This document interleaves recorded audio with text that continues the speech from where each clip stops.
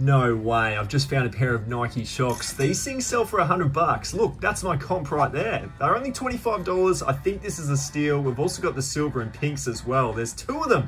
They should both go for about 90 bucks. And oh, no way, look at that. Wow. Would you look at that? We've also got a pair of Air Max 95s. These should go for, well, pretty much $100 as well. Let's call it $250 for 75 spent. So the aim of this video today is to try and find 30 items that we can sell for a profit on eBay. It's what I do full time and I think 30 would be a pretty cool haul. Now I've already found what I deem to be one of the best finds I've ever had. It was the first store that I went in. I've found a few other goodies that I've shown you guys already, but this find, I'm going to save it for the end of the video. Please stick around for it. It's a 0.001% chance, I reckon. An absolutely impossible find. So I'll save that for the end. Let's get back into the next one.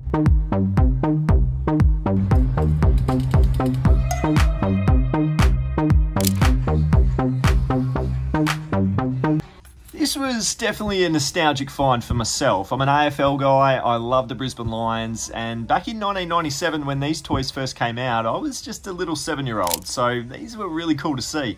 We've got Alastair Lynch, we've got Craig Lambert here as well, and we've got Michael Voss, three people that I idolise. So these toys I definitely had when I was growing up, but I hadn't seen them for a good 20 years since. Now, they were all going for $4. I actually had eight sets of the same player. Individually on eBay, these things are selling for about 15 to $20. So I think I might be able to sell them for about 45 but I wanted to see them if I could get a bit cheaper. She said if you're going to take all 26, she'll do it for $2 each. Lovely. And we've got another box out the back if you even need more. Oh, do you really? Yeah. we do. Yeah. How many more do you need? Thanks, James. Looks like a few. Just only these two little boxes. Gotcha. See what's in there. Yeah, And I can always take your name and number if we find more. For sure. These two box. How many are there? It was So one, two, three, four, five, six in a box. six in a box, so another 12, so that's 38 and two bucks, eh? All right, let's do How's it. that? Yep, Sound good. happy eight. This was a pretty crazy DVD find. Winners and losers, the full six seasons, uh, a complete series set. It sells for a good hundred dollars, and I was rapt to find this one for just the 13 bucks. I've also got another golden rule when it comes to DVDs: don't buy anything that doesn't make you profit, and that was certainly the case with this one. I don't touch this stuff, not gonna touch this stuff. Make sure you stick around because I've got a little bit more of a story with regards to this Hart of Dixie DVD. I'm to go ahead and pick it up for $6 for very good reason. Twilight Zone. I've also got this as well. We've got season 5. It's brand new and sealed, just the $8. That one turns into about 30 bucks, so that was a great little turnaround. And I've got some video games down here as well. The first one here, uh, this was actually brand new and sealed on the PS4, and that one goes for about 45 bucks. So I'm pretty stoked to pick that up for 3 and then the order 1886 as well. Doesn't go for too much money just i think about 12 to 13 dollars. Uh, but i just couldn't say no. They were the only ps4 games in store I moved into the next category and we're looking at some hats and guys you know how much I love my hats I've been able to find some absolute crackers here McTavish surfboards it's a very good local Byron Bay surf brand here in Australia four dollars for this one here I should be able to convert that for about 30 I found a second one hiding on the floor here as well. So really good brand. Make sure you're finding it. The hats can turn around for some great money on eBay. Uh, this one here as well, Los Hermanos Howler. You wouldn't believe the comps on this one, guys. Going for pre-owned around about 50 to $80. You heard that correctly, and I'm just paying the $3 for it here in store. Now, I found this to be fascinating. We've got the Hart of uh, Dixie here. Seasons one to four is a complete set. I've picked up season two. I've paid $6. Now, here in Australia, it goes for some pretty decent money. I'm around sort of 70 to $90 in pre-owned condition. But what I found fascinating was it has spiked dramatically over in the US.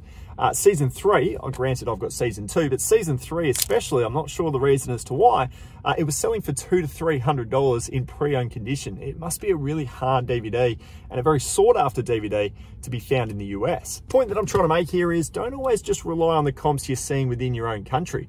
Have a look uh, elsewhere if you're doing the international postage because it might be worth a little bit more somewhere else. That's where we're going next. Still sourcing my Bulls merchandise whenever I see it. This Zach LaVine basketball jersey is a ripper. I think it's pretty genuine as well, and I'm paying just the five bucks. I've also got this one as well, Ohio State Buckeyes. This was in pretty decent condition. It was a men's extra large, so I'm going to go ahead and pick that up as well. Don't anticipate a huge turnaround for it. but just still happy to get my hands on it. Also picked up a pair of shoes here as well. We've got the Nike Metcons, very much a staple for me when I'm outsourcing my shoes. So to find these for, a well, a pretty decent price there, I'm happy to go ahead with the purchase on those. I've also got these Nike Revolution running shoes as well. Just 12 bucks for a pair of Nikes. I'll take that any single day of the week. So that was also another really good grab. So two pairs of shoes. Also picked up a G-Star watch here as well. Wasn't sure about this one. Don't really play in the watch game too much. But I know that G-Star's a good brand. It was only $8 and that was looking pretty good to me. So hopefully some good money.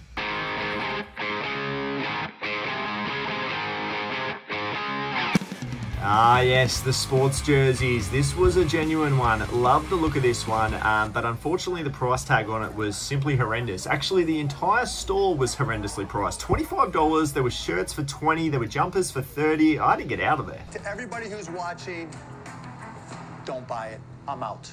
This day is just getting better and better. I was going to go into the next thrift store, and in the end, I've actually had to dart off to go and pick something up on Facebook Marketplace. I've just seen this pop up it's only been up for two minutes, which is always the case with the best buys.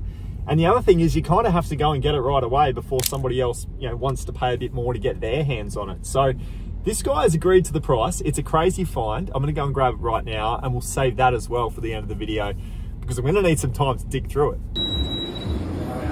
Yeah, mate.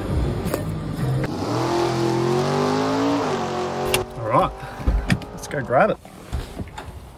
Hey mate, how are you? The game stuff. Yeah. Cool. So that's step by step. Sweet. Uh, now, here I was thinking I was picking up an Xbox bundle with 100 games, but he also had this as well. It was a Nintendo 2DS console, it was fully boxed up, and it had an additional 60 games.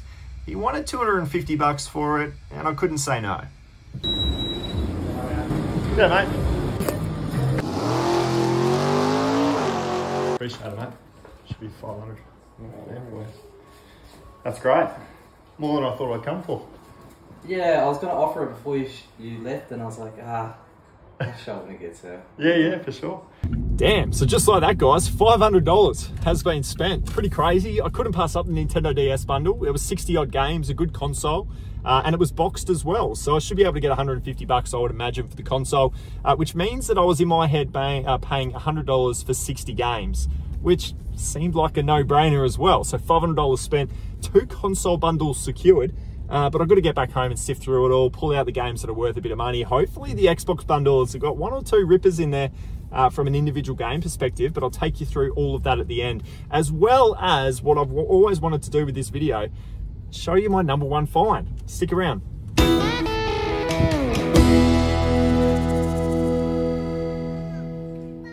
Now these are a great pair of shoes, the Nike Air Max 270s, $25. It was just the color tone of those that made me pass. They just seemed a little bit dirty. Now these were a really good pair of shoes as well, 30 bucks.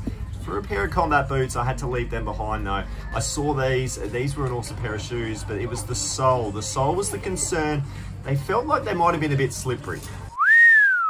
It was a pretty good day for shoes though because these Nike Element 87s go for some fantastic money as well. I'm paying just the 15 and they should convert into about 100 so they also seem like a bit of a no-brainer. And the shoe finds just kept on coming. These were the Adidas Ultra Boost women's running shoes. They're actually a fantastic pair of shoes to be finding. The resale value on these is always good, but the sell-through rate is pretty decent as well. Just a $10 purchase price. That's pretty cheap for my area. I should be able to sell them for about 45. Here's a great brand as well, Merrell. I didn't actually end up going with the purchase of these, but these were the Moab mids, and uh, look, there was a $15 price point on them. Kind of regret not going ahead. The reason why I said no wasn't based on condition, it was just the size that you're seeing there. A 6 men's was a little bit small. That's the only reason I put it back on the shelf. This one here, Cake Boss Season 8 and Season 9 Collection 1. Uh, they both go for about 15 bucks a piece, brand new and sealed as well. That always helps things. They only cost me uh, $1.50 on a half price, so that was pretty good.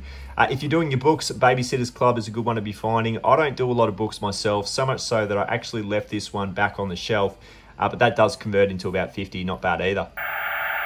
All right, guys, we are back home now, and uh, I've just spent the last oh, 45 minutes just going through the Xbox 360 bundle. There are a lot of games to sift through, uh, as well as the obviously the console and the Kinect system as well. And I've looked everything out.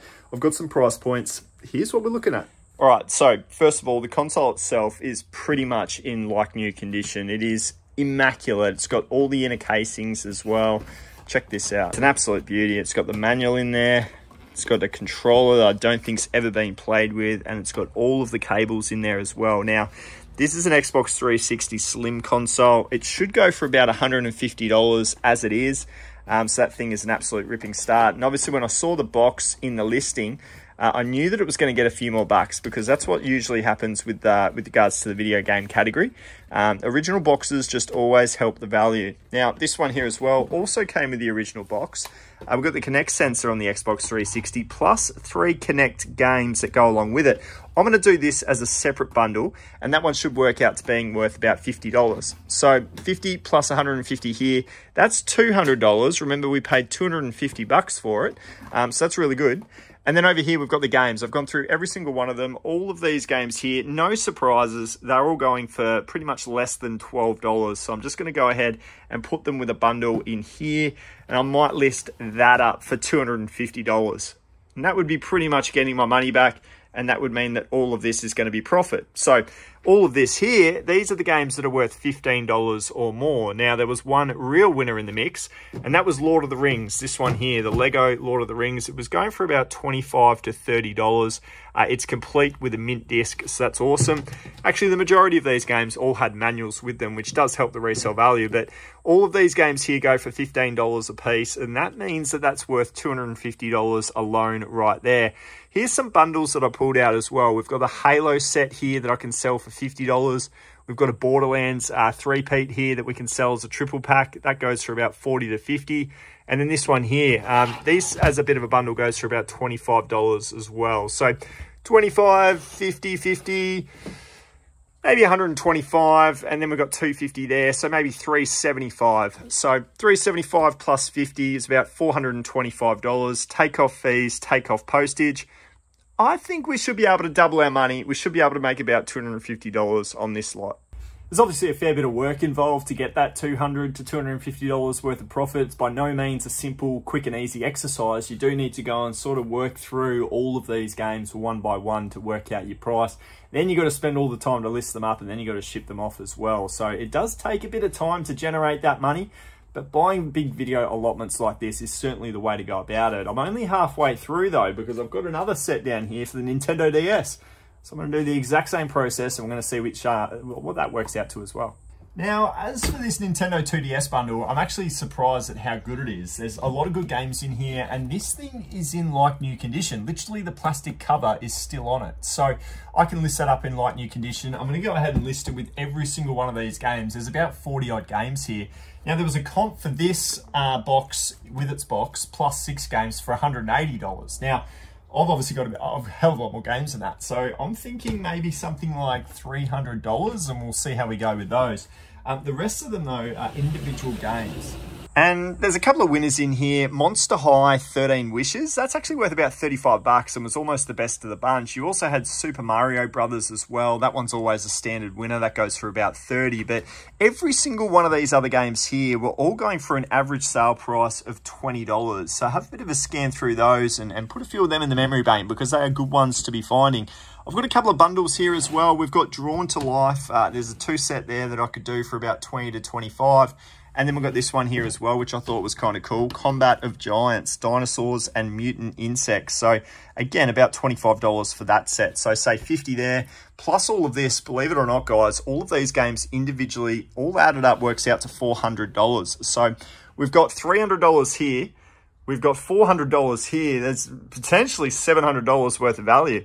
And I paid $250. So I think this is an absolute, actually, to be honest, better than all of that 360. But as good as all of that is, I've got the best item of the day. It's right here. It was an unbelievable find. I paid $25 for it and it came out of the first store that I was in today. It's a piece of clothing. It's a very cool piece of clothing. Have a look at this. We have a vintage Adidas I Want I Can all over print. This is a tennis sweater from the 19, I think it's 1988. Uh, completely genuine. I, I just loved the look of it when I first saw it. I didn't know anything about it. There's some pretty crazy embroidery I want I can on the back of it as well. Um, it's a size large. It's a men's size large. All of the tags told me that this thing was completely genuine. Uh, it's um, it's even got the inner tag here underneath. Uh, there it is there. You can see the Adidas right there. So Look, I had to do some research on this. I wasn't sure I was going to be buying it for $25 no matter what. But then when I did my research, I was blown away by how much these things are actually worth. They are incredibly hard to find. And there are multiple comps going on uh, Etsy uh, for about $500 to $600. I think there are a couple that had sold for about 580 bucks. Now, I was blown away by that. I thought there might have been some money into it, but not as much as that. And if I can get around $500 for this, it will no doubt be one of the best finds that I have ever found. To be able to find this in a thrift store is just ridiculous because the second it hits the shelf is the second it walks out the door. And I got to the checkout and the lady behind the counter said that she herself had just put that onto the clothing rack.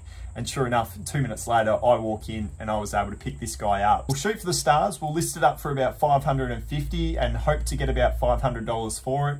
Fingers crossed, we can turn this one around in a pretty quick space of time. But what a find. Unbelievable. It really is the thrill of the hunt, guys. That was a lot of fun today. So much purchased. I'm going to leave you with a video right here, which was another one in a million thrift store find that I was able to pick up just a few weeks ago. Appreciate you tuning into this one, guys. I'm going to get listing. We'll see you soon.